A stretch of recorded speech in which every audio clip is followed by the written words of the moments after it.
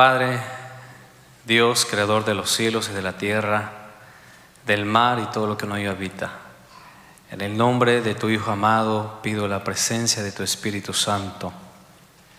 Pido que tú te hagas real, ministra en el poder del Espíritu cada vida, cada mente, cada corazón. Bendícenos hoy con tu palabra, ministranos, sánanos, restauranos. Haz la obra por la cual, Dios mío, tú has enviado la palabra en este día. Te daremos la gloria porque solo tuyo es el reino, el poder y la gloria por los siglos de los siglos. Amén y amén.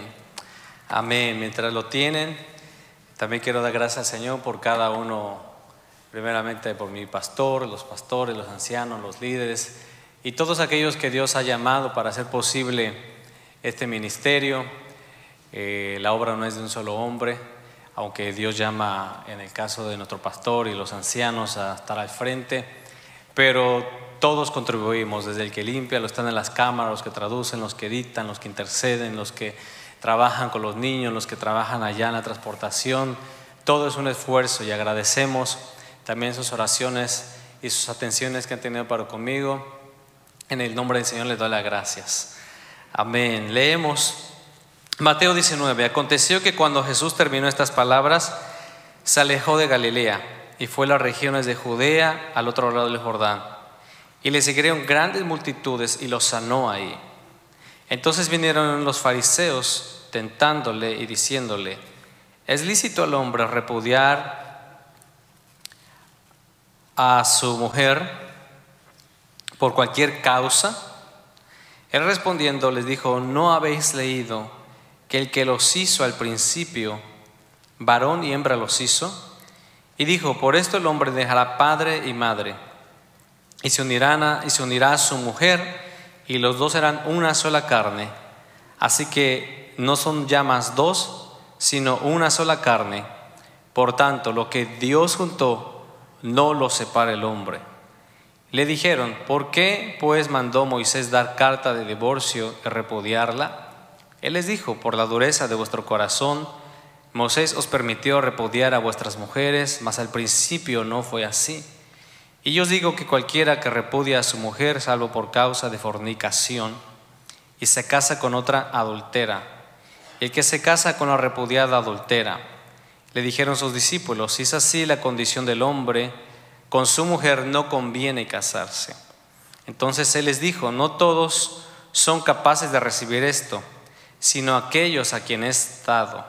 Pues hay eunucos que nacieron así del vientre de su madre, y hay eunucos que son hechos eunucos por los hombres, y hay eunucos que a, que a sí mismos se hicieron eunucos por causa del reino de los cielos. El que sea capaz de recibir esto, que lo reciba. Amén. Bendecimos al Señor.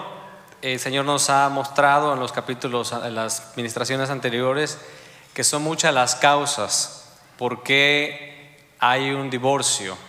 Y entre todas esas administraciones Dios nos ha dado diferentes panoramas, nos ha dado diferentes perspectivas de mirar por qué el hombre y la mujer se divorcian, por qué el, todo matrimonio que comienza se destruye.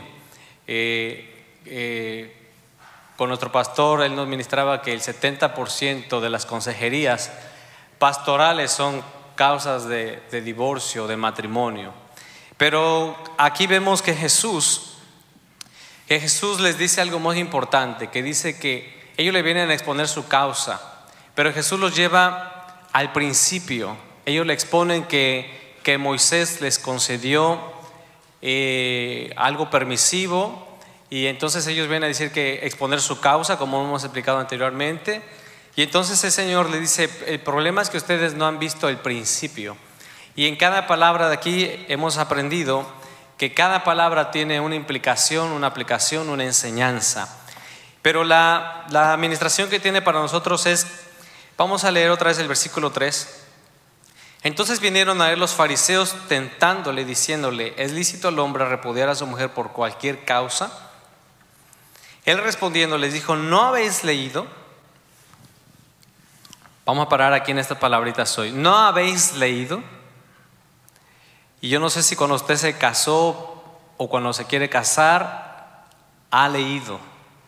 Simplemente usted lo que más aflora es porque me enamoré, porque me emocioné, porque me gusta, porque eh, las demás causas que hemos puesto, porque me quiero ir de la casa, porque me estoy quedando viejo, me estoy quedando solo y necesito una compañera, un compañero, o en el caso de aquí que se quieren divorciar porque ya esta mujer ya no, o este hombre ya se acabó el amor.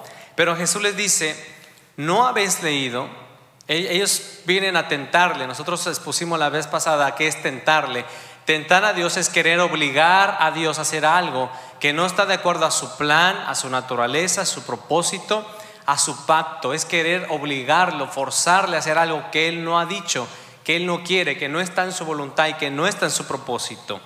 Y aquí Jesús no les eh, permite que sigan en su pensamiento. Él, Jesús trata o los lleva y dice, es que el problema de ustedes es que no han leído al principio. Y la pregunta debería ser también para nosotros, ¿hemos leído el principio? ¿Y a qué principio se refiere? Yo veo que el principio a que Dios se refiere es al Génesis. Dice, ¿no habéis leído? ¿No habéis leído? Es una cosa, ¿no habéis leído que el que los hizo? Y dice, ¿no habéis, una cosa, ¿no habéis leído el principio? Otra cosa, al que los hizo. ¿Y quién es el que los hizo? Dios, el Padre, el Señor, el Creador. Dice, una, quiero que ustedes entiendan algo. Su causa y las causas se van a destruir o no van a ser cuando ustedes vayan a leer el principio. Cuando ustedes entiendan el principio, cuando conozcan a aquel por quien son todas las cosas. Dice, del que los hizo al principio, y señala dos cosas, varón y hembra. Muy importantes hoy. Dice varón y hembra, dice principios. Y dijo, por esto el hombre dejará padre y madre. Y hace referencia al Génesis, que Dios creó un hombre y una mujer. No creó Dios dos hombres y dos mujeres. Creó hombre, varón y hembra. Y luego dice padre y madre.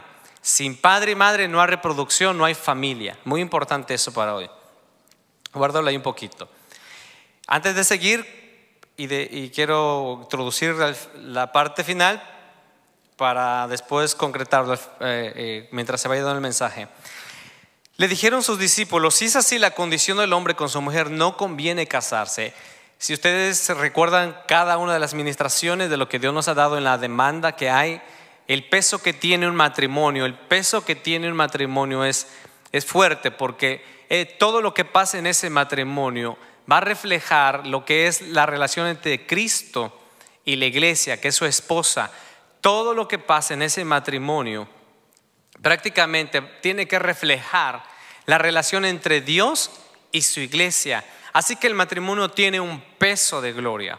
Y si nosotros no entendemos el principio al que los hizo, el pacto, la unidad, la naturaleza, entonces constantemente van a, van a surgir muchas causas. Y entonces dice los discípulos, yo entiendo aquí, dice aquí, le dijeron sus discípulos, si es así la condición del hombre con su mujer, no conviene casarse. Esa es una respuesta de lo que ellos habían percibido porque ellos tenían, por lo que vemos aquí, había una inmadurez. Ellos, acuérdense que aquí vino con los discípulos y los discípulos estaban en un aprendizaje, estaban en un discipulado con Jesús. Y ellos iban a ser los próximos que iban a llevar y seguir el ministerio de Cristo. Así que la respuesta de aquí de ellos es inmadura. Ustedes se recuerdan el último mensaje que hablamos que cuando una persona va a casar debe haber al menos alcanzado un grado de madurez y lo expusimos de acuerdo a que las naciones ponen que hay una, hay una edad para que ese joven o esa joven pueda casarse, que en la mayoría de nuestras naciones son los 18 años. Es porque las, eh, eh, eh, las naciones o el, el, town o, los estados quieren asegurarse que la persona tenga la capacidad, la madurez para poder llevar a cabo y ser responsable y tener un trabajo y poder sustentar y, y, y ministrar esa familia. Pero vemos aquí que la respuesta de los discípulos es todavía inmadura, porque en este pasaje nosotros vemos que ellos estaban respondiendo de acuerdo a lo que habían visto, lo que les habían mostrado los fariseos, lo que estaba ah, en el ambiente que estaban, en este caso el contexto es Roma, que Roma estaba bajo los Herodes y los Herodes estaban acostumbrados a vivir en homosexualismo, estaban acostumbrados a, hacer cosas aberrantes, que aún dormían con su mamá, con, dormían con sus, eh, entre, con sus hermanas, se quitaban a la, a la cuñada, por ejemplo ahí con el caso de Juan el Bautista, que acusa a Herodes y le dice, la mujer que tú tienes no es tuya. Y entonces su respuesta de ellos es conforme a su perspectiva que tenían y su, y su respuesta es con una inmadurez y, también, y como Jesús les está eh, poniendo la demanda, entonces ellos dicen, si es así, no conviene casarse. Yo creo que si, si nosotros vamos a, a, recordar todo lo que Dios nos ha dicho, digo, wow, si es así, yo creo que no me hubiera casado todavía, ¿verdad? ¿O qué piensa usted?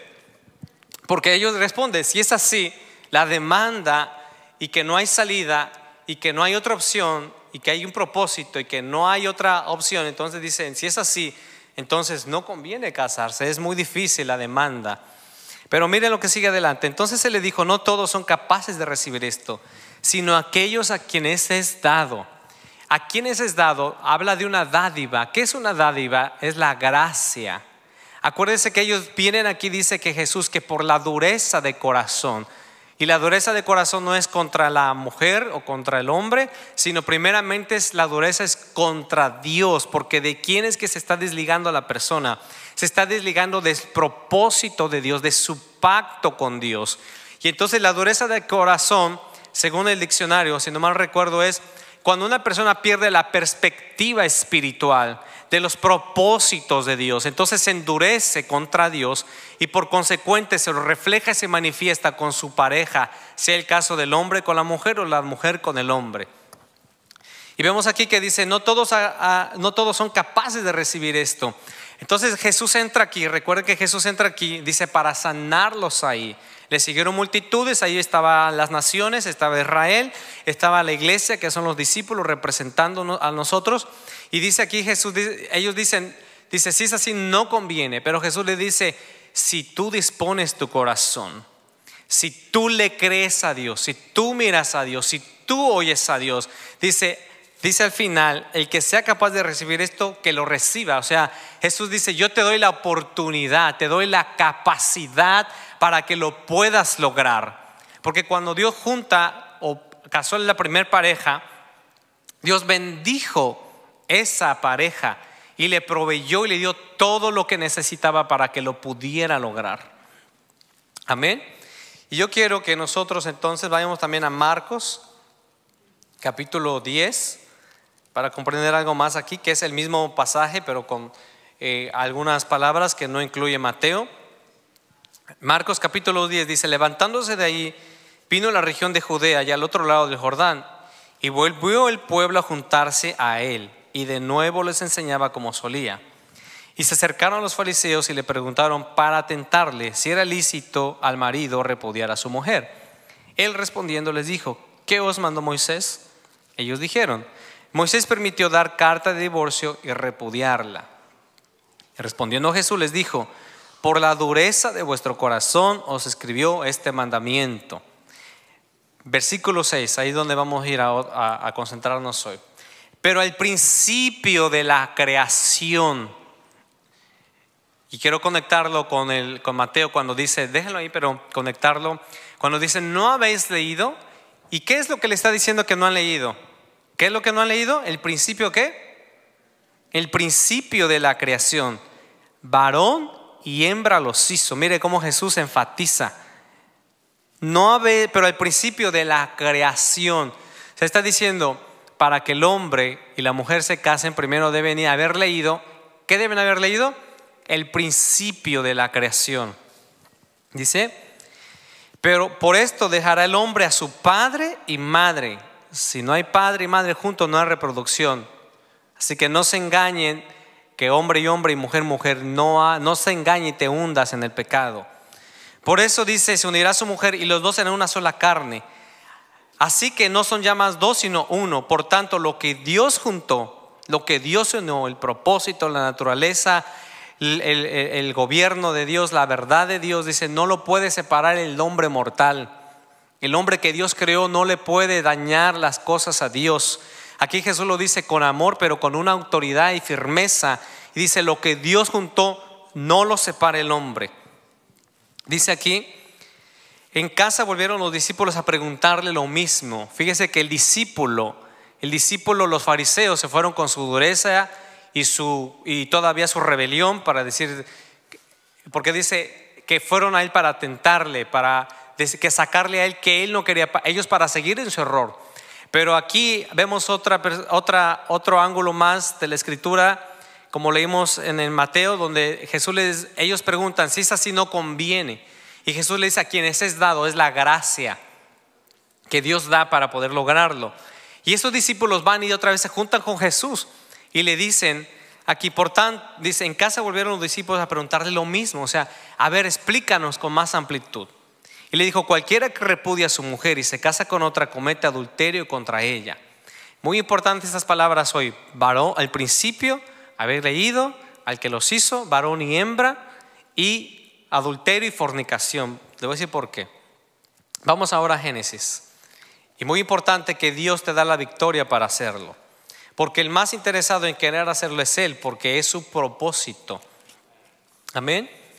Vamos entonces, vamos a leer ¿No habéis leído? ¿Habéis leído? Vamos a leer entonces. Lean junto conmigo, si me ayudan a proyectar aquí. Quiero que mientras yo leo, ustedes también lean, ¿ok? No dejen solamente que el predicador lo haga. Ustedes también están aquí para ser edificados, como yo y cada uno que estamos aquí. En el principio, ayúdenme a leer, creó Dios los cielos y la tierra, y la tierra estaba desordenada y vacía y las tinieblas estaban sobre la faz del abismo, y el Espíritu de Dios se movía sobre la faz de las aguas. Y dijo Dios, sea la luz, y fue la luz. Y vio Dios que la luz era buena, y separó Dios la luz de las tinieblas. Y llamó Dios a la luz día, y a las tinieblas llamó noche. Y fue la tarde y la, y la mañana un día. Luego dijo Dios, hay expansión en medio de las aguas. Más fuerte, iglesia. Quiero que, Dios quiere escuchar a su iglesia. Y separe las aguas de las aguas.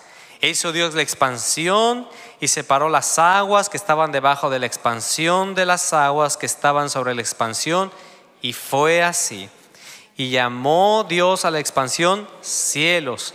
Y fue la tarde y la mañana el día segundo. Dijo también Dios, júntense las aguas que están debajo de los cielos en un lugar y descúbrase lo seco. Y fue así. Y llamó Dios a lo seco tierra. Y a la reunión de las aguas llamó mares. Y vio Dios que era bueno. Después dijo Dios, produzca la tierra hierba verde, hierba que dé semilla, árbol de fruto que dé fruto según su género, que su semilla esté en en él sobre la tierra y fue así. Produjo pues la tierra hierba verde, hierba que da semilla, según su naturaleza, y árbol que da fruto, cuya semilla está en él, según su género. Y vi Dios que era bueno. Y fue la tarde y la mañana, un día del el día tercero.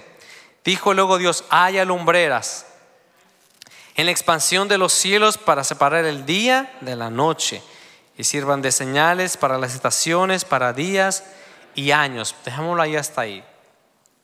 Jesús les dice, no habéis leído el principio de la creación. Ahora estamos leyendo, ¿verdad? En el principio de la creación, aquí Dios está diciendo que no, les está diciendo sus causas van a destruirse cuando ustedes vayan al principio. Ellos le dicen, pero Moisés, dice, eso es después del pecado, antes del pecado. Ahora nosotros estamos en esta condición pecaminosa, pero los que hemos sido salvos hemos sido regenerados por el Espíritu. Y tenemos ahora el Espíritu nuevo que nos ha vuelto a la imagen con la que Dios nos creó. ¿Qué es la imagen de Dios? La imagen de Dios es la naturaleza de Él, su carácter de amor y bondad. Aquí el hombre, aquí, aquí, aquí dice que no habéis leído lo que Dios hizo al principio. En el principio aquí de la creación, Dios era el todo en todo. Dios era el todo en todo, no había opción. Dios era el todo y en todos. Y como es la visión de esta casa, que Dios quiere que vuelva a ser Dios el todo en todos. Pero si hay, hay divorcio o hay matrimonios del mismo sexo, Dios no puede ser el todo. Pero Dios se tomó a sí mismo para crear y revelarse. Si nosotros hemos leído ahora, podemos ver que en cada cosa que Dios hacía, estaba revelando su naturaleza, su carácter, sus propósitos, sus principios. El hombre no tenía pecado aquí y podía escuchar a su Dios. Aquí podemos ver todo lo que Dios hizo se reproduce.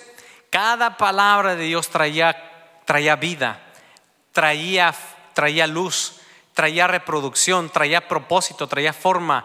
Cada criatura tenía una función interdependiente una de la otra, pero cada una en su especie y en cada una en su género. Ahí vemos la unicidad de Dios también, la verdad de Dios, el poder de Dios, la gracia de Dios. Mientras yo leía esto, preguntaba, me preguntaba yo por el Espíritu Santo y le preguntaba al Señor, decía, Señor, ¿Adán tenía Biblia? ¿Qué usted piensa? ¿Adán tenía una Biblia? ¿No tenía Biblia? ¿Tenía las escrituras?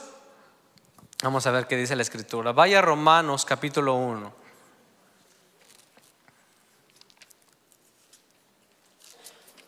Romanos capítulo 1, versículo 16 en adelante, si no mal estoy.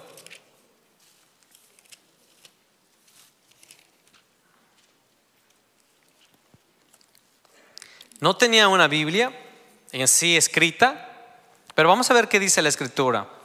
Romanos capítulo 1, versículo 19, perdón. Capítulo 19, si lo pueden proyectar aquí también para que los hermanos que están aquí o los que no traen Biblia, hay unos que traen Biblia, porque lo que de Dios se conoce, lo que de Dios se conoce, acuérdense que Jesús le dice, ustedes no han leído el principio de la creación, porque lo que de Dios se conoce les es manifiesto.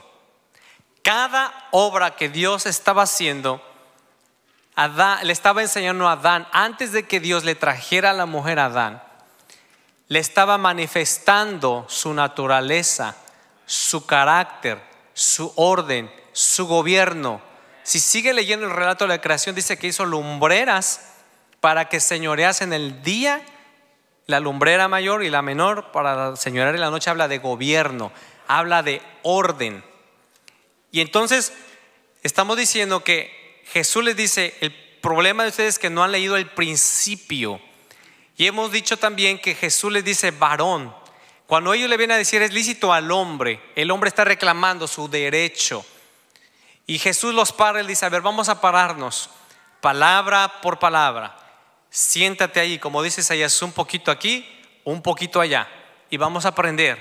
Y vamos a ver si, si tu derecho o tú tienes la razón. Ellos argumentan que después del pecado Moisés instituyó y que se puede el hombre divorciar y podemos explicar y decir que también es la voluntad permisiva, pero Jesús yo no veo que les dé la voluntad permisiva. Él dice, vayan al principio.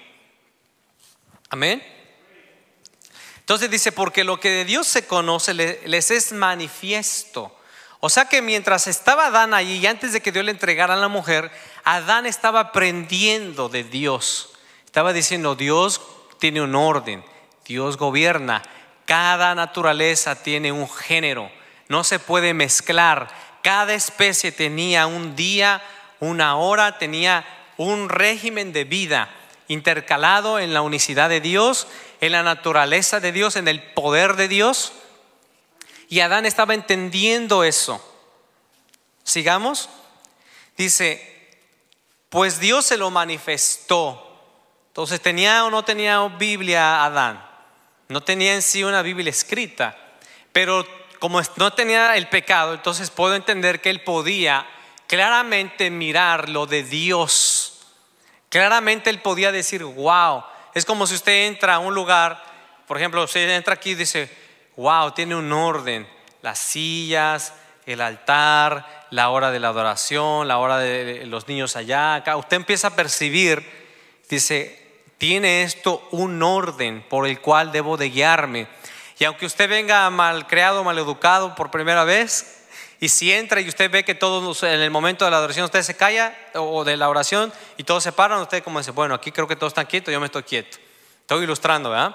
O usted entra a una oficina y, o por primera vez va a una corte y el juez dice y se levanta el juez y va a empezar a hacer su, no sé cómo se llame, pero si dice todos quietos y usted por primera vez, cuando a mí me tocó una vez ir, y, ve que como el policía dice que no va a haber ningún, este, nadie hablando, nadie moviéndose, todos quietos, usted inmediatamente mira lo que está pasando alrededor y usted empieza a aprender, oh, aquí se mueven las circunstancias, se mueven así. ¿Verdad que es así? Entonces dice aquí, porque las cosas invisibles de Él, su eterno poder y deidad, se hacen claramente visibles desde la creación del mundo, siendo entendidas por medio de las cosas hechas de modo que no tienen excusa. El pasaje está aquí hablando del extravío del hombre en su pecado. Y muy importante lo dije porque Jesús enfatiza varón y hembra y habla de adulterio y de fornicación. Pero antes de ir allá, para entrar allí, quiero seguir avanzando aquí. Cuando Dios era el todo en todos, Él empezó a crear y en esa creación, en cada creación que Él hacía, Dios iba revelándose. ¿Qué dice Romanos 1, porque lo que de Dios se conoce les es manifiesto. O sea que Dios en cada cosa que él iba haciendo se iba revelando. Iba, el ejemplo de hace, de la, una de las administraciones anteriores fue que cuando Adán dio ese león, él pudo ver el poder de Dios minimizado en una bestia. Y pudo ver la ferocidad. En ese tiempo no, no había todavía, antes del pecado, no había eh, no se comían entre ellos, pero pudo ver la fuerza. Y la Biblia se compara con, él mismo se compara con el león de la tribu de Judá. Pudo ver la oveja, él es el, él, es el cordero de Dios. Entonces pudo Adán percibir, ya él pudo, estaba percibiendo lo que de Dios quería, que cada especie tenía su naturaleza, cada semilla estaba en su orden. Y desde ahí del Génesis empezamos a ver que Dios tiene un orden. Y por eso Jesús les dice, el, problema de ustedes como matrimonio, primeramente tú como hombre, porque Él viene a, reclamar el derecho, dice el hombre, dice, a ver, párate ahí, vamos a ver qué es el hombre. Primeramente es un varón. ¿Y qué es un varón? Y dice la función que debe tener un varón. La Biblia dice, lo leímos en las administraciones anteriores, dice que el hombre es gloria de Dios y la mujer es gloria del hombre. Entonces el hombre fue creado a imagen de Dios, entonces quiere decir que así como cada creación en su naturaleza que Dios creó estaba reflejando el poder, el amor, la naturaleza, la fidelidad de Dios, entonces el hombre está percibiendo que así él debía manifestar también eso en aquello que Dios le iba a entregar. Él iba a entregar la creación, él iba a entregar una mujer para poder reproducirse y poder continuar el propósito. Entonces vemos aquí que Jesús los para y dice, vamos a ver, tú estás funcionando primeramente como varón, porque le está diciendo que él quiere divorciarse para irse con otra, entrar en adulterio, en fornicación y poner un pretexto y pedirle torcerle el brazo a Dios, tentarlo para hacer algo que él desde el principio jamás ha estado en su corazón. Mientras he estado leyendo las escrituras, puedo ver que Jesús cuando vinieron a preguntarle lo que pasó por su mente eterna, cuando le preguntaron, por eso él su respuesta, ¿no habéis leído el principio? Jesús fue a ese principio y dijo todo lo hermoso, lo precioso que yo hice con amor, porque los salmos dice, porque hizo los cielos, porque para siempre su misericordia, lo que hice con misericordia, con verdad, ahora el hombre lo quiere venir a dañar, a destruir. Y Jesús dice, vamos entonces al principio ahí van a terminarse tus causas. Entonces dice, vamos a ver si tú estás funcionando. Y Adán entonces debía conocer ahí que cuando, cuando Dios estaba dando las semillas, las plantas, estaba diciendo, soy padre que te voy a suplir. Adán debería entender que iba a ser un día padre que iba a reflejar a su padre. No vamos a entrar todo en eso ahora, pero para avanzar en lo otro, que la línea que tiene hoy Dios hoy, pero vamos a ir dejando eso establecido para la siguiente. Entonces dice, como padre, era sacerdote porque ministraba a Dios y después iba a ser primeramente, iba a ser esposo y luego iba a ser padre. Por eso Jesús dice, ¿no habéis leído? Varón y hembra los hizo. Y antes de que le entregara a esa mujer, Dios empieza a revelar a Adán. Para decir, de la manera que tú estás mirando el diseño, de la manera que yo te estoy mostrando cómo cada cosa tiene su orden, cada cosa tiene su tiempo, su día, su hora. Así tú me vas a representar en ese matrimonio que te voy a entregar. Te voy a entregar la creación, la vas a someter, Adán. Vas a ser mi agente en esta tierra. Vas a ser mi representante. Tú te vas a enseñorear y no las cosas se van a enseñorear de ti. Dice aquí entonces, mirarlo, entonces ahí Adán también tenía que mirar a Dios. Si nosotros recordamos lo que hemos leído, dice que cada vez que Dios hacía algo, dice, y miró Dios que era bueno. Nos hemos parado a mirar si lo que estamos haciendo es bueno en nuestro matrimonio. Cada vez que Dios hacía algo, dice, y lo aprobaba, y vio Dios que era bueno, pero paraba, se paraba, miraba. ¿Y por qué Dios aprobaba que era bueno? Porque dice, eso está de acuerdo a mi carácter, a mi nombre, a mi naturaleza. Por cierto, el nombre de Dios no tiene que ver con letras, aunque tiene una letra. El nombre de Dios tiene que ver con su espíritu, con su carácter con su naturaleza, con su orden, con su gobierno, con su unicidad, con sus metas, con sus proyectos. Y aquí Dios, eh, dale el aplauso si alguien quiere dar el aplauso, amén. Y aquí Adán está conociendo por medio de la creación, él ya estaba percibiendo las cosas de Dios. Entonces, antes de que él se casase, él tenía una revelación del mover del orden de la gloria de Dios. Porque cada palabra anuncia, cada palabra que, que Dios decía, anunciaba, hablaba y creaba, y Dios miraba y aprobaba. Ahí vemos estructura, vemos plan, vemos orden, vemos cómo te decía, sea, juntas, júntese, haya, produzcan. O sea que lo de Dios se mueve, lo de Dios crece, lo de Dios se multiplica. Y con, el, y con una ruptura de matrimonio, ¿qué estás haciendo? Llevándolo a, en vez de hacer que se multiplique, que crezca, ¿qué estás haciendo? Lo estás pisoteando y destruyendo. Por eso Jesús dice, lo que Dios juntó, no lo puedes tú separar. Si yo me esforcé como para Dios, eh, por decirlo así, porque Dios no se cansa, si Dios me esforcé y, y en, mi, en mi dimensión eterna y espiritual me tomé a mí mismo para expresarme en medio de la creación y para manifestarlo en un matrimonio. ¿Por qué? ¿Quién eres tú, hombre? Para altercar con tu creador ahora y venir a decirme que quieres que yo apruebe eso.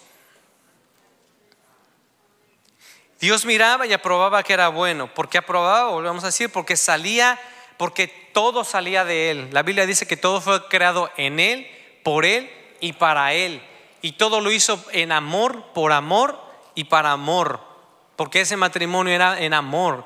Y dice el libro de Cantares, no hemos llegado allá, pero dice que ese amor debe llegar a la máxima expresión. Y usualmente los matrimonios empiezan un poquito ahí, más o menos en el, en el, un poquito digo porque no llega a la máxima, porque en el matrimonio es la culminación para llegar a la máxima expresión. Usualmente los matrimonios solamente en el noviazgo están enamorados, se casan y se desfuma todo. Y lo que están pensando es a ver cómo me zafo, por qué me casé con este, cómo no me fijé en el otro, cómo no me fijé en aquella, por qué no escuché antes esto. Y en vez de que eso crezca, se multiplique, reproduzca, manifieste gloria de Dios, es todo lo contrario. Entonces Dios miraba y aprobaba. ¿Has mirado y has aprobado? Podía aplicar lo de la luz también, porque Dios trajo primeramente luz. Ahí no había sol ni luna. No que hizo la luz, para aquellos que piensan que Jesús fue creado dice, trajo la luz, o sea, la trajo a la existencia. Dice la Biblia en Apocalipsis que la ciudad no necesita de, sol ni de luna, porque el Cordero, la lumbrera de Dios, la alumbra todo. Desde ahí, amén, había desorden en la creación, porque todavía no estaba el propósito. Y Dios dice, sea la luz, o sea, trae de algo que ya existía, lo trae a la existencia. Y dice el libro de Juan, dice que Él era la luz de los hombres. Jesús dijo cuando sanaba a la gente, le liberaba y perdonaba sus pecados, dice, todo el que me sigue, eh, dice, yo soy la luz del mundo y el que me sigue no andará en tinieblas porque tiene la luz de la vida. Juan 8:12. Dice entonces que, estamos leyendo aquí que, que entonces Adán prácticamente no tenía una Biblia escrita, pero sí Dios estaba dando a conocer para decirle entonces, cuando yo te entregue a la mujer, tú vas a poder gobernar, ordenar, ser como yo en carácter y en naturaleza y vas a guardar la unidad. Por eso Jesús les hace énfasis, dice, no habéis leído que al principio varón y hembra dice, una cosa serán, una. Y Dios permitió, cuando dice que no es bueno que el hombre esté solo, no es que a Dios se lo olvidó. Nosotros en las anteriores administraciones vimos que Dios le trae a Adán cada criatura y le muestra y le dice, y, deja que Adán pueda ver, dice, vamos a traer otra vez el ejemplo del león, dice, para que este león, dice, este león no puede quedarse así. Ve al leoncito, o leonzote como lo haya visto, y dice, wow, qué belleza, qué majestad, qué fuerza, pero esto no puede quedarse así, esto debe multiplicarse, porque la palabra de Dios es eterna, porque cada vez que él habla, crea. Y dice entonces, debe tener una hembra. No dijo debe tener otro león, ni el mismo león quería otro león. La misma naturaleza nos enseña el orden de las cosas. Y entonces él va y dice, Leona, dice, aquí está tu leoncito. Y supongamos que hizo un matrimonio él. Y Dios le estaba enseñando a su niño Adán cómo debía hacer las cosas. Y dice, tú, leona, león. Y así cada especie con cada uno y cada uno en su orden, en su día, en su hábitat. Y entonces dice, pero estos necesitan reproducirse para que haya muchos leones. Estos elefantes necesitan reproducirse para que haya muchos leones, para que lo de Dios llegue a la máxima expresión, para que el propósito de Dios que se cumpla. Y cuando él ve todo eso, dice, pero entonces yo, varón, León, leona, elefante, elefanta, jirafa, caballo, yegua. Dice, entonces el varón, varona. Dice, ¿yo? Entonces Dios se da cuenta, Dios le hace percibir, decir, que mires que tú estás solo. Y ahora está creciendo el Edén. Esos animales empezaron a multiplicar, todo empezó. Y dice, y entonces él empezó a ver, yo necesito una ayuda. ¿Una ayuda qué? Y dice que los fariseos vienen aquí a decirle que la quiere rechazar. ¿Cómo entonces la va a rechazar? Primero Adán le Dios le deja entender a Adán y le dice, le, le deja entender, tú no vas a poderlo hacer solo. ¿Necesitas una ayuda? O sea, ese que, eso que dice la palabra, yo entiendo así, que Dios dijo que no era buena, solo era para hacer entender al hombre cuánto tiempo estuviste tú solo. Ahora valora a la, que, a la mujer que te traigo, valórala, estímala. Y la naturaleza caída, corrompida del hombre, dice ahora la quiero repudiarla. Acuérdense de la palabra repudiar, que la palabra repudiar es rechazar, destruir, pisotear, menospreciar, quitarla de en medio, decirle a Dios, no sirve lo que tú hiciste. Y entonces aquí Dios lo deja ver que Él diga, aquí hay, esto se está multiplicando, las tareas son más ahora, necesito una ayuda idónea. Y cuando le trae la ayuda idónea, entonces yo tengo que transmitirle, porque la saca de él, recibe vida de él, como la iglesia recibe vida de Cristo. Y dice, entonces tengo que enseñarle lo mismo de que emprendí en el principio. Esto está avanzando, yo tengo que enseñarle lo mismo. Orden, gobierno, autoridad, sujeción, obediencia, sometimiento, reino, que Dios siga haciendo el todos dice, tengo que enseñarle esto, que tengo que transmitirle a ella también. Por eso dice la palabra que el hombre es gloria de Dios y la mujer es gloria del hombre. O sea, lo que yo soy va a ser ella. Puedes mirar como Dios dijo y miró Dios. Puedes mirar tu matrimonio. Puedes mirar ahora en ti mismo, mirar y ver si lo que tu matrimonio está haciendo como al principio, está haciendo, está llevando la gloria de Dios, o qué hay en nuestra casa. Esa respuesta, contéstatela tú misma. Pero aquí hay sanidad, porque el Señor dijo que trajo, vino la palabra para sanarlos ahí. Y cada vez que Dios hablaba, traía vida.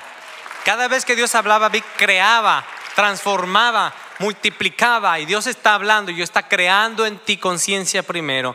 Está creando en ti eh, eh, un redargüimiento del Espíritu. Y también te está dando la vida también para que lo logres. Amén.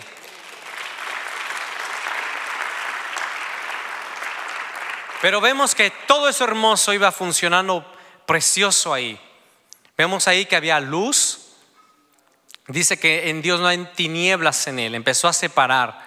Si lo aplicara a, los matrimonios, dice en Juan, dice que Dios es luz y no hay tinieblas en él. Tinieblas es cuando algo se esconde de la luz. ¿Y cuántos eh, matrimonios se esconden para que no le vean el texto, para que no le sepan la cuenta, para que no sepan cuánto es su cheque? Tinieblas, tinieblas y no hay luz. Debe haber luz, debe haber luz, sea la luz. Y desde ahí podemos ir viendo cada, si nos detuviéramos en cada aplicación, cada cosa, cada orden de ahí, podríamos ver lo mal que estamos, pero lo bueno que vamos a estar cuando volvamos al principio.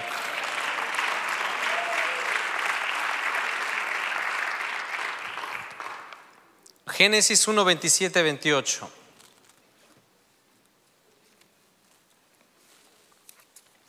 Génesis 1, 27, 28. Vamos desde el 26. Desde el 26 y me ayudan a leer, ¿ok? Entonces Dios dijo, hagamos al hombre nuestra imagen. La Biblia dice que habla del hombre, está hablando del género humano, aunque primero hizo al varón. Pero acuérdense que en cada creación tiene su naturaleza, su especie, y había un orden ya de multiplicación. Así que dice la Biblia, por ejemplo, en el caso de Abraham, dice que Abraham traía en sus lomos la descendencia. Los lomos, si no mal estoy, es aquí entonces Adán ya traía aquí el género humano. Eso incluía a la mujer. Dice, entonces Dios dijo, hagamos al hombre a nuestra imagen, con nuestro carácter, con nuestra naturaleza. Las aguas que creó Dios, la luz, reflejan la pureza, la limpieza de Dios.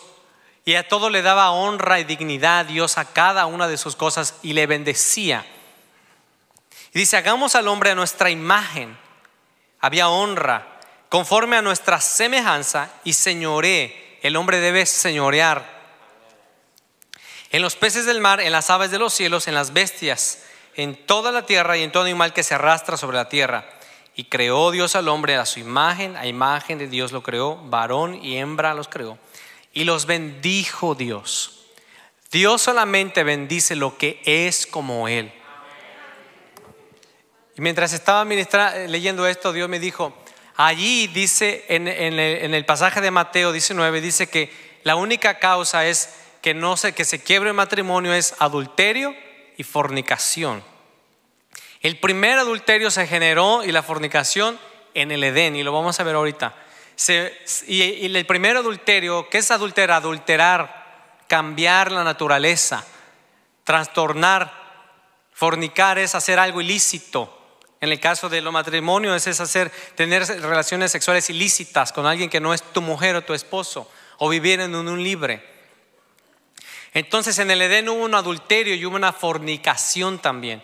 Y lo, contra el primero que se hizo fue contra Dios. Y mientras estaba leyendo, y, hubo una, y eso es una traición, porque Dios al darle todo al hombre le estaba delegando Imagínese que usted tiene un negocio y crece, prospera, y de repente usted empieza a preparar a otra persona y lo hace digno de su confianza y después le entrega todo, así como José, como Faraón le entregó todo a José. Y de repente lo traiciona y, le, y, usted le da las firmas para que cuando usted no esté, usted pueda firmar, él pueda firmar, esa persona pueda tomar decisiones, pero supongamos que esa persona le roba todo, que se han dado casos. ¿Qué sería eso? Una traición, una deslealtad. Y Y en el Génesis vemos que hubo una traición contra Dios. Y vamos a ir bien eso porque Jesús dice, de la única manera que yo no apruebo es adulterio y fornicación. Es de la única manera que yo no apruebo. Y dice aquí que Dios bendijo al varón y la hembra.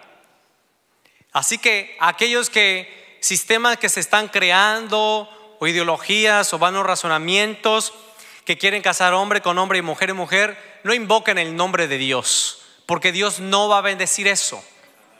Dios no va a bendecir jamás lo que no está de acuerdo a su naturaleza, su carácter, su propósito, su verdad, su justicia, su pureza, su limpieza, su honra, su dignidad. Y no va a bendecir eso. Así que eso es una apostasía de aquellos que se dicen ser padres o pastores o ministros o, lo que sea que casan eso. Dios jamás va a estar ahí en ese asunto. Entonces no hagas el, ridículo ni quieras ofender a Dios diciendo que te casaste. Porque Dios nunca va a aprobar eso. Aquí dice que aprobó lo que Él hizo, lo que Él formó, lo que Él creó, lo que Él estableció en su reino, en su propósito. Por eso dice el libro de Romanos, ahora vamos a ir otra vez para allá, que lo que de Dios se conoce es visible en la creación. Si no quieren entonces leer su Biblia, entonces miren el orden de la creación. Y sé también que, y sé también, y Dios lo sabe mejor que yo, que hay muchos que llegaron a esa condición por muchas causas. Puede ser maldiciones generacionales, puede ser que de niño o de niño lo abusaron, puede ser que, como dije la vez pasada, la reacción de la mujer porque el hombre no ha podido sustentar lo que Dios ha creado desde el principio. Entonces puede ser que por esa causa sea, pero a final de cuentas no está en armonía con Dios y no es pretexto tampoco. Aleluya. Algo sucedió, todo, todo iba en, en, marcha, todo iba perfecto, todo iba precioso en ese den, en esa creación, todo iba caminando perfecto, hasta que sucedió algo. Entró Satanás, entró el adversario Dios mismo cuando empieza a crear todo y hace todo, Él hizo provisión. Ahí podemos aprender y hay que aplicar, no lo va a hacer ahora. Pero Dios mismo hizo provisión, dijo, yo sé que el hombre me va a traicionar, me va a dar la espalda un día también. Le va a creer más una serpiente que a mí. Y aún con todo y eso Dios hizo provisión. El cordero que fue inmolado desde antes de la fundación del mundo, preparado para nuestra salvación, se anticipó para darle al hombre una oportunidad, como le preguntaron los discípulos aquí, si es así al hombre no conviene, pero él dice, pero a quien crea que se dispone le es dado la gracia, la dádiva. Está alcanzable, no está no es difícil, está alcanzable para aquellos que en vez de endurecerse dicen, sí, yo estoy de acuerdo contigo, Dios, con tu propósito, con tu creación, con tu, con, con tu orden. Entonces dice aquí que pasó algo cuando Adán y Eva se sometieron al pecado, a, la serpiente, dice que entonces, vamos a leerlo, Génesis 3, capítulo 3, versículo 1, vamos a leer desde ahí. Pero lea conmigo, ¿ok? Porque dice Jesús que tenemos que leer, leer el principio. Pero la serpiente era astuta más que todos los animales del campo que Jehová Dios había hecho, la cual dijo a la mujer con que Dios ha dicho, no comáis de todo árbol del huerto. Y la mujer respondió a la serpiente, del fruto de los árboles del huerto podemos comer. Pero del fruto del árbol que está en medio del huerto, dijo Dios, no comeréis de él, ni le tocaréis, para que no muráis. Entonces la serpiente dijo a la mujer, no moriréis, sino que sabe Dios que el día que comas de él, serán abiertos vuestros ojos y seréis como Dios sabiendo el bien y el mal. Y vio la mujer que el árbol era bueno. Vamos a avanzar, eh, vamos a avanzar hasta el 9, por favor, perdón para acortar el tiempo, eh, para administrar el tiempo. Mas Jehová Dios llamó al hombre y dijo, ¿dónde estás tú? Y él respondió, oí tu voz en el huerto y tuve miedo. El hombre que estaba caminando en libertad ahora tiene miedo. Muy importante esa palabra, guárdenla para ratito. Tuvo miedo porque estaba desnudo. Y me escondí y dije, se escondió, tres cosas ya, entró con miedo, se vio desnudo, tuvo miedo, eh, se encontró, eh, se escondió Y Dios le dijo, ¿quién te enseñó que estabas desnudo? ¿Has comido del árbol que yo te mandé que no comieses? Y el hombre respondió, la mujer que me diste por compañera me dio del árbol y yo comí. Ahí podemos ver que todo lo que hace ese, e, esa uno, lo que hizo ella lo hizo él. Lo que hace él lo hace ella. Eso también pasa en el matrimonio. El que se une al Señor es un espíritu con Dios. El que se une, el varón que traiciona a su mujer o la mujer que traiciona a su marido, adultera primeramente y fornica contra Dios. Porque ese cuerpo es templo del Espíritu Santo. Y trae esa vileza y esa deshonra a su esposa y a toda su casa y a su descendencia. Lo que hizo, e, lo que hizo ella no fue inocente, lo afectó y por consecuente afectó toda la creación. Si lo aplicamos prácticamente nosotros en una congregación, en una familia, una persona que esté en adulterio y fornicación, afecta toda la casa, afecta todo el propósito, todo el ministerio, aunque Dios examina a cada uno, pero no podemos caminar así, iglesia de Dios. No podemos caminar así porque Dios es un Dios santo y te da la oportunidad de lograrlo, que dispongas tu corazón. No podemos representar a Dios la pureza, la santidad, lo de Dios en adulterio y fornicación. Seguimos leyendo. El hombre respondió, amén.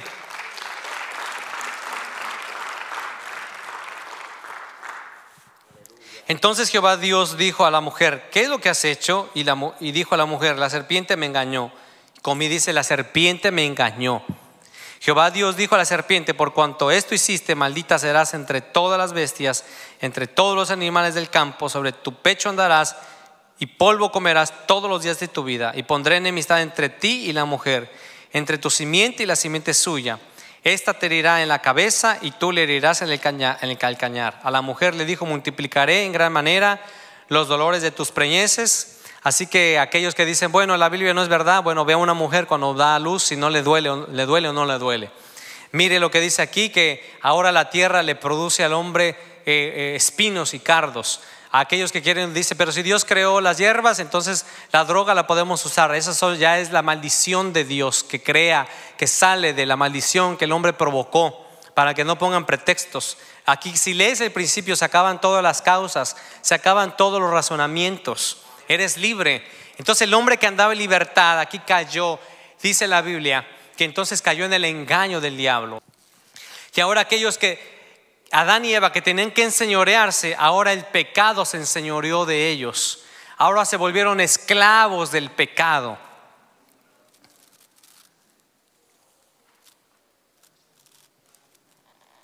Vaya Apocalipsis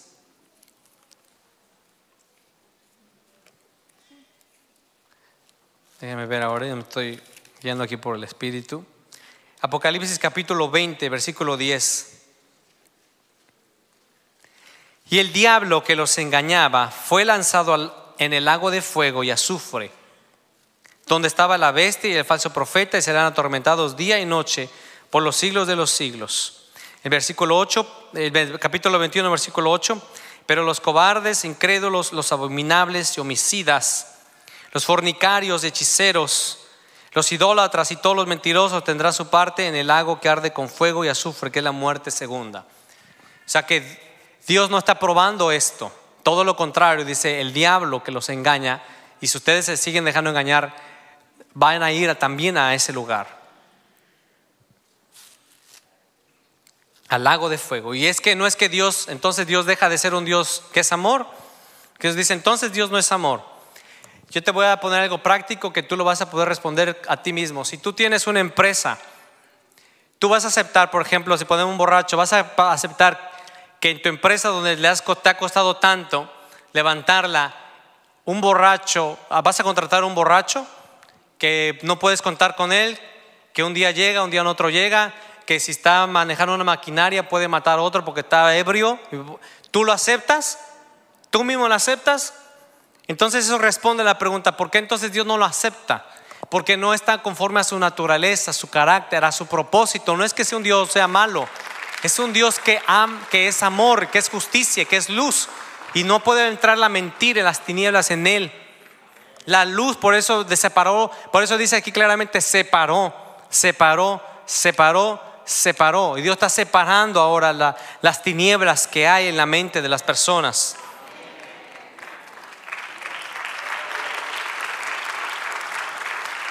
Vamos al Salmo 55. Salmo 55. Versículo 10 al 14. Estamos hablando entonces que Adán, dice el libro, en uno de los profetas, dice, dice, pero vosotros, cual Adán, traspasó el pacto, traicionaron a Dios, Traicion, hicieron algo que no estaba lícito traicionaron y le dieron la espalda a Dios. Y durante el caminar de toda la humanidad, el hombre siempre le termina dando la espalda a su Dios. Aquí hubo treinta y tantos mensajes que Dios nos habló a través de nuestro pastor de, de que nosotros, cuando Dios dispersa y dice porque, porque el hombre le ha dado la espalda a su Dios. Y durante todo el caminar del ser humano siempre le termina dando la espalda a su Dios. Lo hizo Adán, lo hizo Israel, Aún David también lo hizo eh, cuando él eh, adulteró. Lo ha hecho siempre en su caminar la iglesia también, como matrimonio, cuando te divorcias, cuando adulteras, fornicas, fornicas, le das la espalda a Dios, traicionas a Dios. Y la, y la, y la, y la, y la traición es, es lo más cruel que puede hacer una persona. Y habla de la dignidad y de la persona que eres tú. Y el dolor que siente la persona que es traicionada, la deslealtad que se manifiesta. Capítulo 55, versículo 10 dice, día y noche, perdón, el versículo 12, 55, 12, porque no me entregó un enemigo, lo cual habría soportado, porque no me, no me afrentó un enemigo, lo cual habría soportado, ni se alzó contra mí el que me aborrecía, porque hubiera me hubiera ocultado de él, sino que sino tú, hombre, al parecer íntimo mío. Adán era un íntimo, ¿verdad? Era, dice aquí, íntimo mío. ¿De dónde me quedé? O 13, sino tú, hombre, al parecer íntimo mío, mi guía, mi familiar, ¿no era su hijo? Adán era hijo de Dios, su familiar. Y lo vamos a, aquí, aunque está hablando también de la traición de Judas, y parece que también está hablando David cuando lo traicionan también. Dice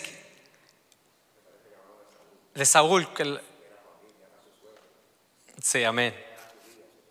Amén. Gracias, mi pastor. Que juntos comunicabas dulcemente los secretos y andábamos en amistad con Dios en la casa de Dios. La, cosa más cruel que puede hacer un hombre y una mujer es traicionar, adulterar, traicionar. Es cruel, es bajo, es vil. Tenemos que abrir nuestros ojos a la verdad. Lo más cruel que puede experimentar una persona es que lo traicione el propio que duerme con él, que conoce su intimidad. Ese es lo más vil que podemos hacer, traicionar aquella mujer o aquel hombre con el cual hicimos un pacto. Y Adán y Eva traicionaron a su Dios. Ahí hubo la primera adulterio y la primera fornicación. Y el primero que podía haber eh, desligadose de completamente del hombre y mandarlo a la perdición eterna hubiera sido Dios.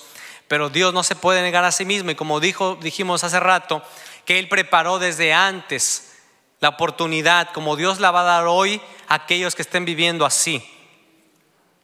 Eh, Judas, también habla de Judas. Judas traicionó con un beso a su maestro. Aquel que Jesús le mostró los secretos, que lo llevaba, que le mostraba los planes. Dice Judas, con un beso entregas a tu maestro. Y hoy la hombre y la mujer que traiciona, que adultera y que fornica no es un beso, son muchos besos. Y con muchas palabras. No, no solamente es un beso, Judas es más inocente, un beso. ¿Cuántos besos dan los adúlteros y los fornicarios? ¿Cuántos dan? Y si eras así o éramos así, cuando hemos sido redimidos no debe volver a ser así, porque nos ha lavado la sangre de Cristo.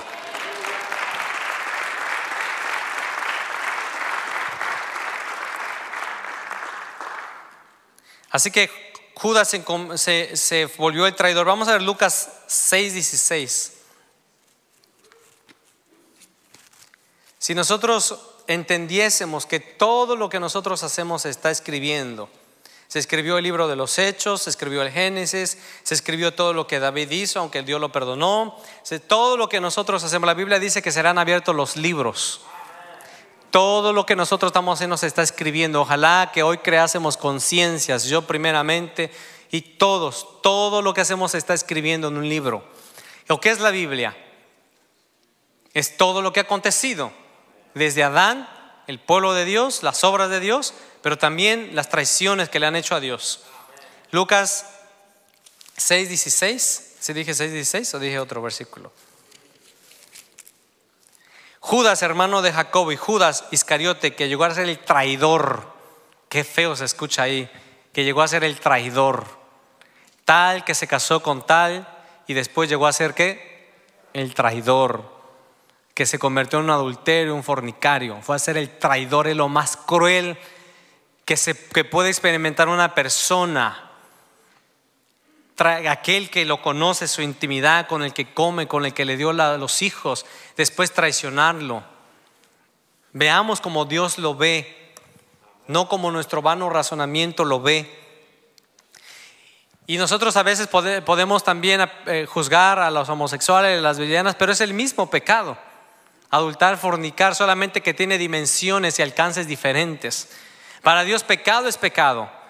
Envidioso, chismoso, mentiroso, eh, solamente que aquí dice que peca contra el cuerpo. Y, y tiene un efecto más grande y más trascendente. Vamos otra vez a Romanos, capítulo 1.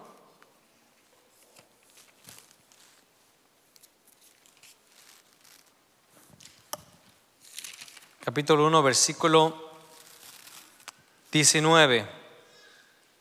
Así que hemos visto aquí, dice aquí, porque lo que de Dios se conoce les es manifiesto, por Dios se lo manifestó, porque las cosas invisibles de Él, su eterno poder y y deidad, se hacen claramente visibles desde la creación. Hay algo que, que debemos mirar en la creación también. Cada especie, cuando vive su, su forma de vida, Dios recibe gloria de eso. Yo fui impactado hace unos años, estaba viendo un documental de Discovery Channel, dije, bueno, quiero ver algo, pero no hay casi nada sano. Y aún esos documentales están torcidos porque aunque ven la, gloria de Dios, el orden de Dios, dicen, quizás, tal vez, eh, la, la evolución, la explosión. Y tú dices, viendo todo eso, dices, hay un Dios creador que te está revelando. Bueno, pues quiero decirles que, que eh, estaba viendo un documental donde hay eh, de- del mar y en uno de esos ellos se sorprendieron porque se formaba un círculo grande, que era como cuando dice que son los ovnis. Y ellos se sorprendieron porque no sabían qué era lo que lo creaba, que estaba tan bien estructurado, pero que ellos no sabían cómo surgió. Y ellos les llevó 14 años escuchar ese animal, eh, ver ese animalito, no sé cómo se llame, pero yo le, le digo animal eh, eh, o criatura eh, del mar. Ese animalito tiene un tamaño chiquitito, como de una lagartija chiquita. Y ese animalito, para poderse reproducir, primero, eso que ese círculo que él crea es una casa que él hace. Y hace sus figuras y le pone sus formas según el diseño que tiene de su creador para reproducirse. Y le pone varias puertas, una aquí, así como está el altar, otra acá, otra acá, otra allá. Y después, cuando él quiere reproducirse, ya que creó todo, él se esconde en una puerta. Y entonces empiezan a pasar todas las hembras. Y entonces las hembras vienen por cada salida y, em- y entran y nada más dan un vistazo y empiezan a mirar aquel cuadro. Y si no les convence, se van. Y el animalito él se queda ahí. No las forza, no le dice, entra, pásate. Entonces él se queda, el animalito se queda ahí. Y después, cuando una de esas aprueba y le gusta, entra. Y hay un círculo en el medio. Y ese animalito entra en el círculo. Y cuando esa hembra entró ahí, entonces sale el macho y se aparea con ella ahí. Y esa, esa hembra se va y pone los huevos y el macho se queda a cuidarlos. Nunca más la vuelve a ver, dicen ellos. Y él se queda ahí cuidándola.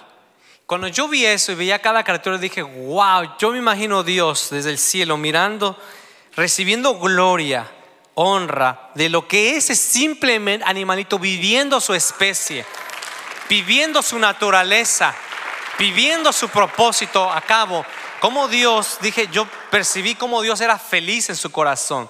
Sino, wow, está de acuerdo a mi carácter, a mi naturaleza, a la palabra que di, al mandamiento que di. Y yo dije, wow, yo, mismo me quedé maravillado. Dije, ¿cómo Dios ve?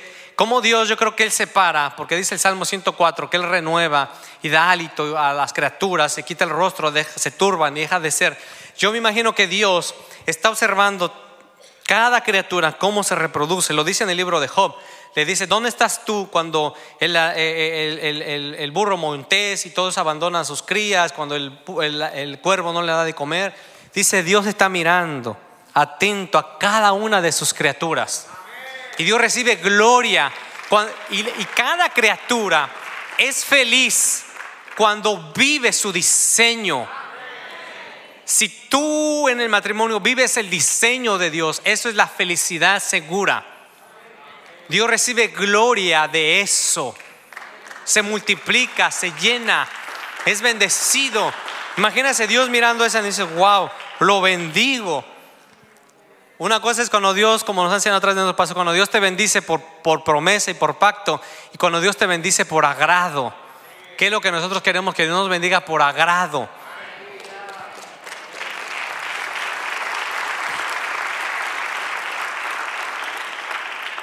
Y entonces vemos que cada criatura refleja la sabiduría, la ciencia, la inteligencia, la unicidad de, de lo que Dios le mostró su propósito, su naturaleza y Dios está manifestando su nombre, su vida, su gobierno, su fidelidad.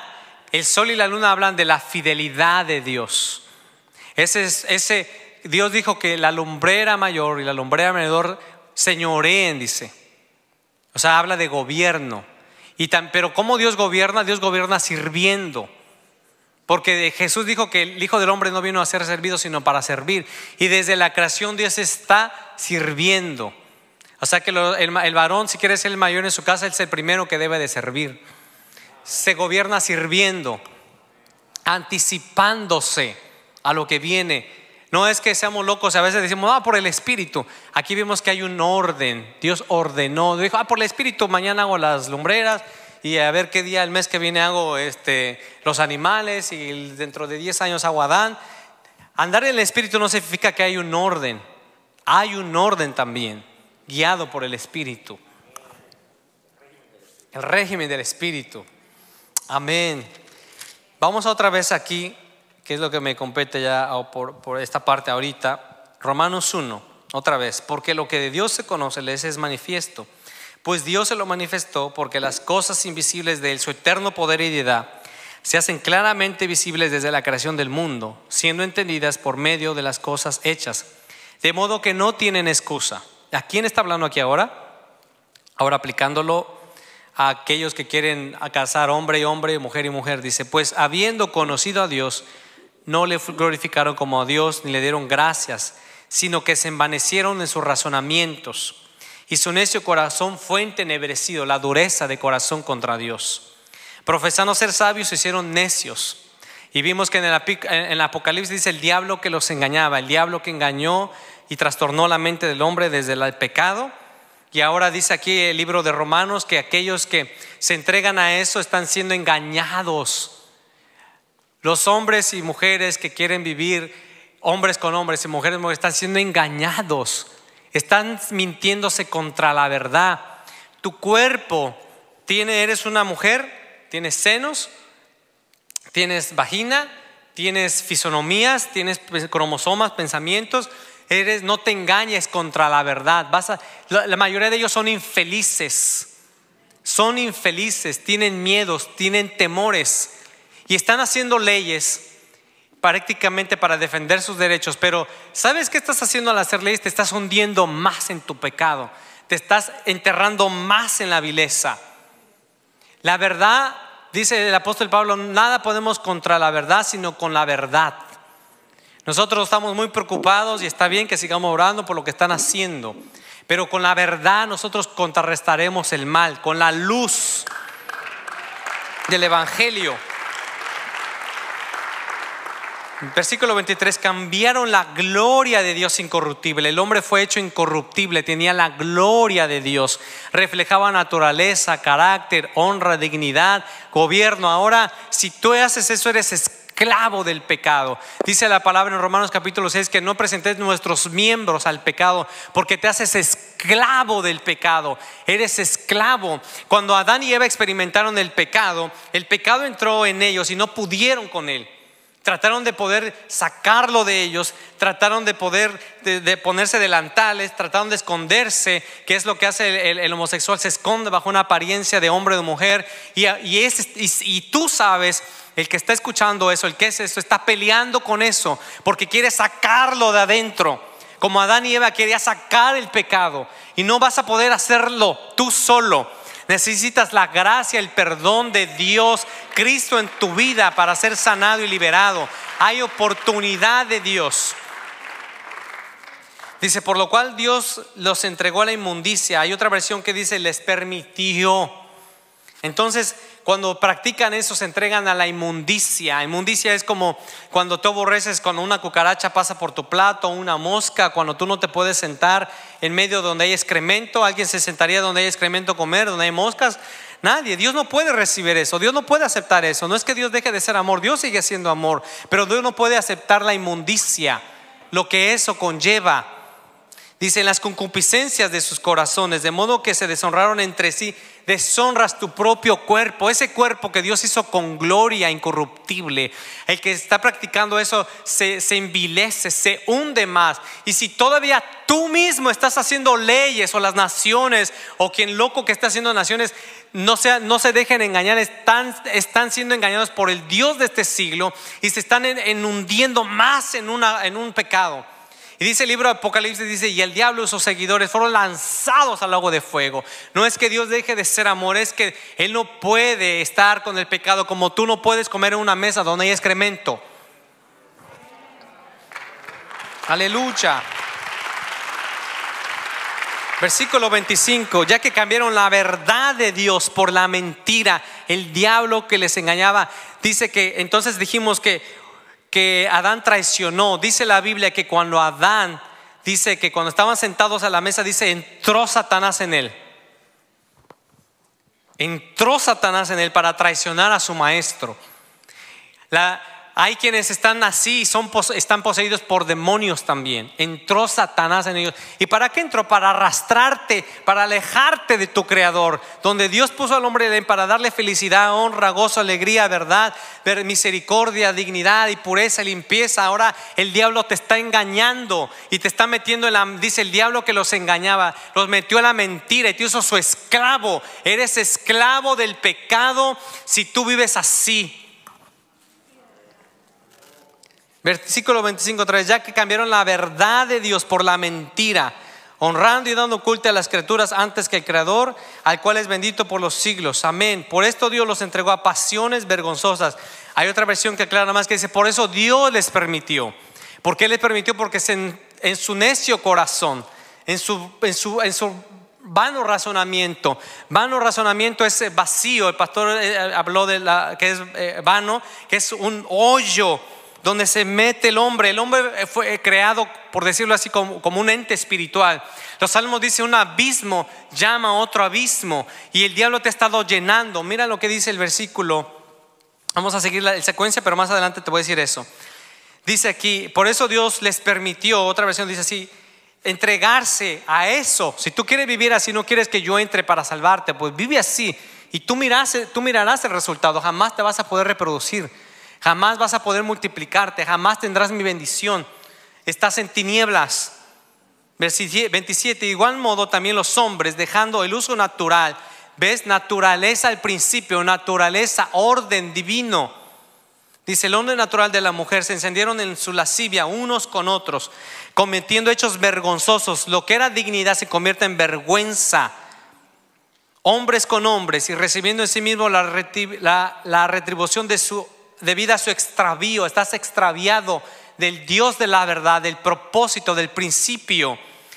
Y como ellos no aprobaron tener en cuenta a Dios, Dios les entregó, que dice, Dios les entregó, la otra versión dice, Dios les permitió a una mente reprobada para hacer cosas que no conviene, estando atestados de toda injusticia, atestados. Dice la Biblia que nosotros debemos ser llenos del Espíritu, llenos de Dios, que el hombre se vació. Pero aquí dice que están atestados. ¿Sabes qué es atestado? Que ya está full de maldad. Por eso nosotros vemos todo ese carnaval, esos shows que hacen. Y los que están escuchando, Dios te quiere dar la oportunidad y que tenga tener misericordia de ti y sacarte de esa vileza. Haciendo leyes te vas a hundir más en el pecado. Te estás envileciendo tú mismo. Te estás hundiendo más y más y más en el pecado. Y no basta eso, porque dice Apocalipsis, como leímos, dice, y el diablo que los engañaba fue arrojado con todos los que los seguían. Te está mintiendo. Segunda de Corintios, si no mal está, 2.14.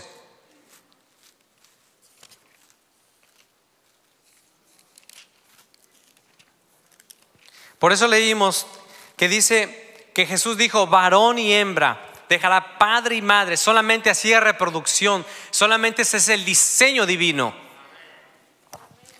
Segunda de Corintios 4:4, 4, en los cuales el Dios de este siglo cegó el entendimiento de los incrédulos. Así que los que viven así están cegados por el mismo diablo.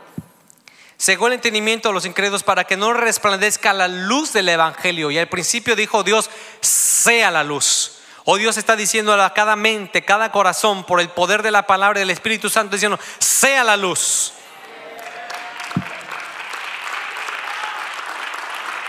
Dice que le ciega el entendimiento para que no resplandezca la luz del Evangelio de la gloria de Cristo, el cual es la imagen de Dios. En versículo 6, porque Dios que mandó que de las tinieblas resplandeciese la luz, es el que resplandeció en nuestros corazones para la iluminación del conocimiento de la gloria de Dios en la faz de Jesucristo. Jesucristo entró ahí en esa, en esa aldea de Judá. Jesucristo entró para hablarles a los, a los fariseos, enseñar a los discípulos, a las naciones Israel. Jesucristo está entrando hoy en tu vida. Jesucristo está entrando hoy en tu corazón. Jesucristo está hablando hoy a las naciones también. Jesucristo estoy hablando hoy a los fornicarios y adúlteros. Porque dice en, ese pasaje, pero lo único que yo no apruebo y que, sí se puede de, desunir es la adulterio y la fornicación, la traición contra Dios. Eso sí yo no lo apruebo.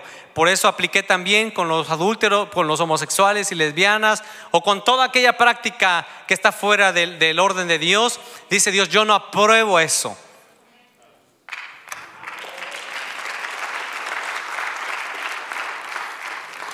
Amén.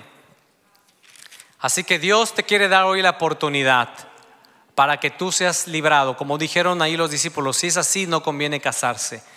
Y, allí les dijo, Jesús les dijo, les he dado, no, vamos a leerlo para que no, para tener las palabras correctas. Mateo 19.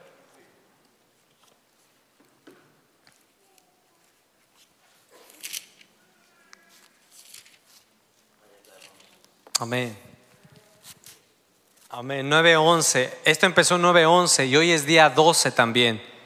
Una emergencia y gobierno de Dios para establecer su reino y que Dios siga haciendo el todo en todos. Entonces Él les dijo, el versículo el 9, 19, 11, les dijo, no todos son capaces de hacer esto, sino aquellos a quienes es dado. Dios te quiere dar la oportunidad. Dios confrontó a David Dios confrontó a David cuando pecó y le dio una oportunidad también. Y, Dios le confrontó con el profeta Natán cuando él hizo tal vileza.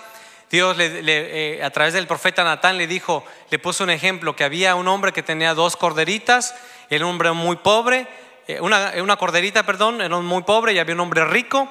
Y dice que cuando vino a visitar a ese hombre pobre, vinieron a visitarlo, quiso hacer un guisado. Dice que el hombre rico tomó a esa ovejita y, le estaba diciendo, le estaba confrontando a David con su realidad. Y le dijo, y le dijo, ¿qué crees que se debe hacer con, este hombre? dijo que muera, porque eso es lo que debe pasar. Que muera, dijo. Y entonces le dijo, ese eres tú, David. Y dijo, Dios te entregó el reino Dios te, te- te- eras un hombre allá entre las ovejas y te levantó en alto y lo has traicionado David. Y puede decir, bueno, ese era David que le entregaron reino, le entregaron todo. A Dios te dio a ti más que, más que un reino terrenal, te dio a Cristo, te dio a todo. ¿Lo vas a traicionar tú también? ¿Vas a seguir en ese pecado? ¿Y qué dijo Dios? ¿Y qué dijo David? He pecado contra Dios. Dijo, lo que tú hiciste es, es, es aborrecible, es vileza. Pero David dijo, he pecado contra Dios. Así que Dios quiere que esa sea tu respuesta hoy si tú lo estás haciendo o alguien lo está haciendo o alguien está teniendo problemas con eso. Dios quiere ser a mi hermano o los hermanos del altar pueden ir pasando para terminar con este día, con esta administración de hoy. Pero Dios quiere darle la oportunidad siempre, porque cuando Él habla trae vida, trae salvación, trae redención, trae propósito, trae bendición. Aleluya.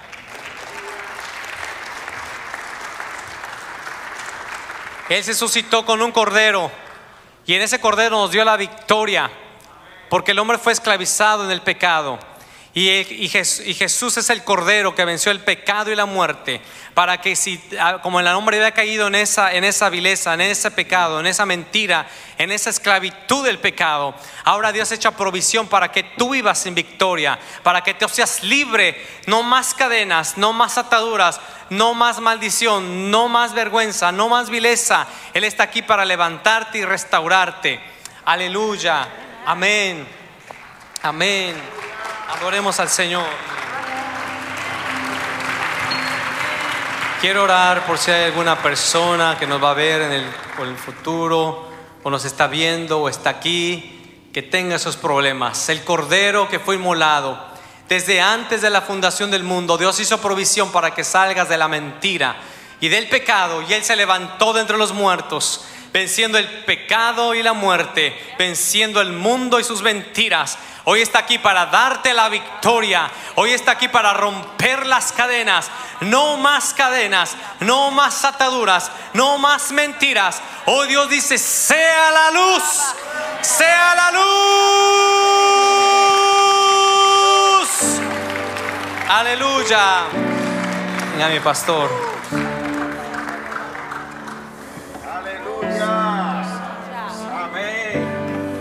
Sea la luz, sea la luz. Amén, amén, amén, amén. Sea la luz, sea la luz. Amén. Amén. El ideal del corazón de Dios es regresarnos a, a como Él hizo las cosas. Ese es lo que el Señor nos enseñó a orar. Venga a tu reino y hágase todo aquí como se hace en el cielo. Hermosa palabra, yo bendigo a Dios por esta enseñanza, eh, esta y las demás que Dios ha dado al siervo Héctor. Nos ha ministrado la palabra hablando un tema tan difícil, tan complicado, y hacerlo con una altura, con el espíritu de- del nuevo pacto, espíritu de restauración. La verdad, Cristo la restauró con amor. Y nosotros, sus ministros, hay que restaurar la verdad en amor. Llevar a la iglesia y al mundo hacia el plan de Dios, hacia el diseño divino, a regresar. Y mientras él ministraba, me acordé de lo que Dios dijo este año, de reparar las grietas del templo familiar. Si ya usted falló, ya, ya pasó. Pida perdón, y olvídese de eso, pero evitemos dañar el, el diseño divino. No traicionemos a Dios.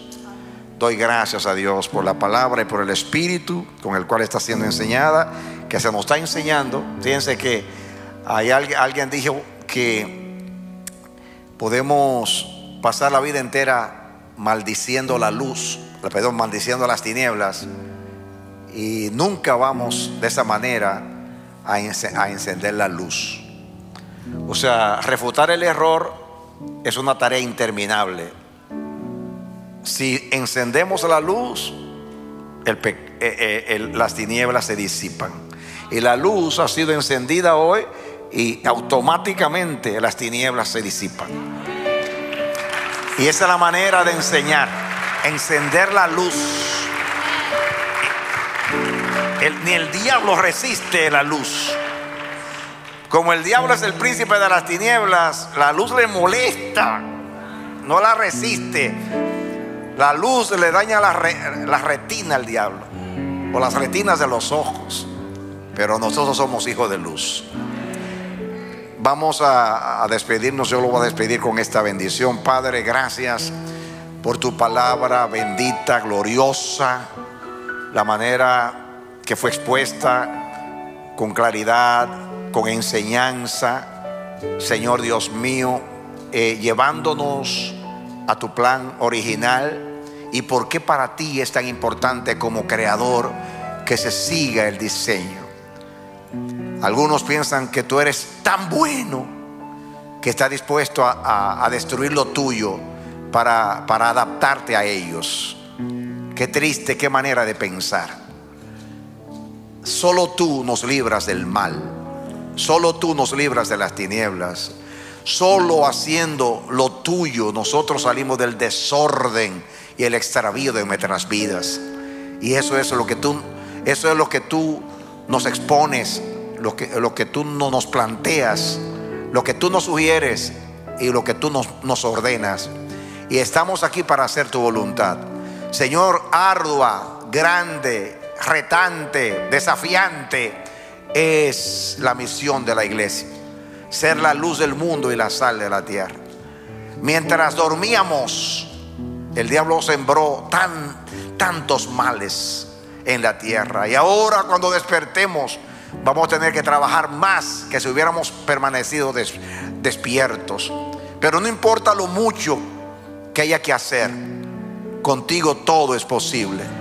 Así que levantamos nuestras manos nosotros y todos los que están en la audiencia, en las naciones, para disponernos, primeramente pedirte perdón, Señor nuestro Dios, por todos nuestros errores, equivocaciones y todas las cosas que en nuestras vidas hemos hecho contrariamente a tu diseño divino, rompiendo el orden, dañándote la creación, pero nos volvemos a ti en Cristo Jesús, porque hay un camino de regreso y es el camino nuevo y vivo que Cristo nos, nos abrió por el velo que es su carne.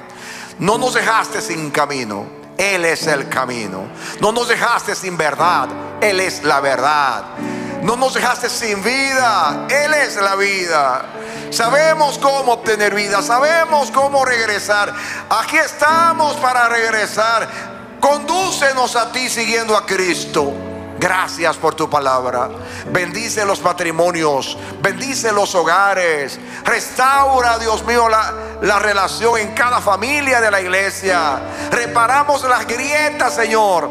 Y este año, Dios mío, vamos a construir, no a destruir, a encender la luz, no a promover las tinieblas. Aquí estamos, somos hijos de luz y andaremos en la luz a restauración fuimos llamados. Y nuestra oración siempre será que todo se haga en nosotros, en nuestras casas, en la iglesia, en las naciones y en Israel, como se hace en el cielo. En el nombre de Jesús. Aleluya. Amén. Amén. Dele aplauso al Señor.